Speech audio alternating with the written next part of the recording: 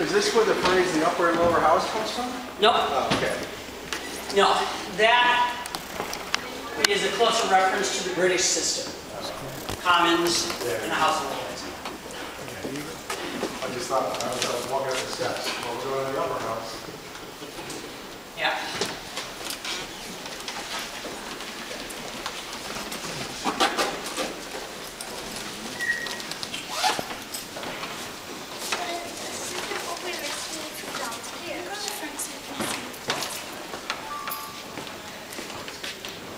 All right, this is the Senate chamber.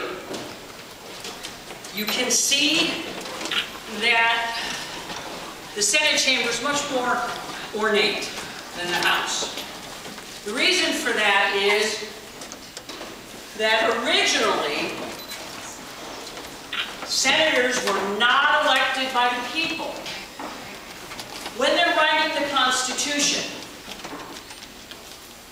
their original thought is to have a legislative body, the House, and to be, be, be a proportional body.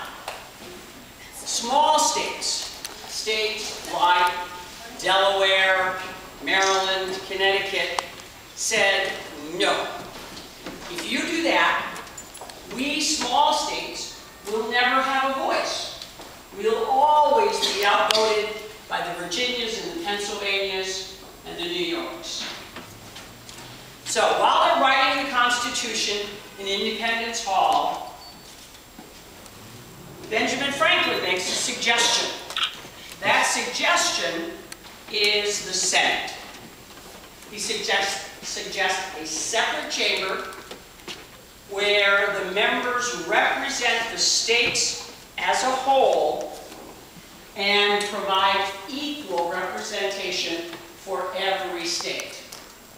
So every state gets two senators, regardless of its size.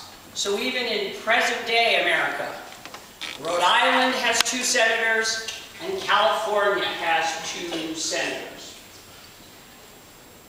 Senators in the beginning, as I said, were not elected by the people, gave them feeling of superiority to folks downstairs because they were elected by just the people.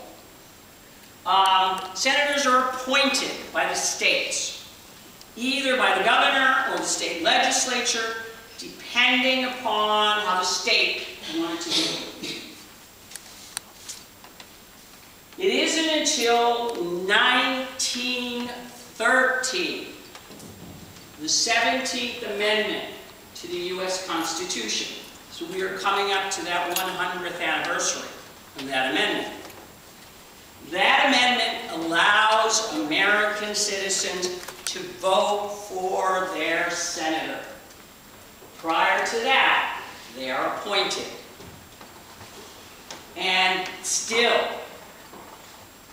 senators are elected by the entire state, not like representatives, which are elected by just certain portions of the states. Um, I also want to point out the two portraits that are behind us in those rooms. You look through those doorways. You can also look through the hallway and see them. They are portraits of Louis XVI and Marie Antoinette, King Queen of France during the American Revolution. They are given to the United States after the Revolution at our request to thank the French for their assistance in the American